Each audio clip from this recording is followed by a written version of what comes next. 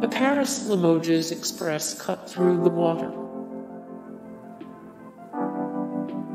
Boats were required in front of Gare Saint Lazare. Droves of people were forced to use makeshift bridges as life in the city continued.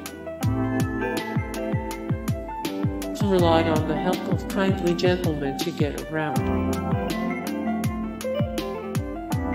A polar bear experienced the flood waters that rushed into his enclosure.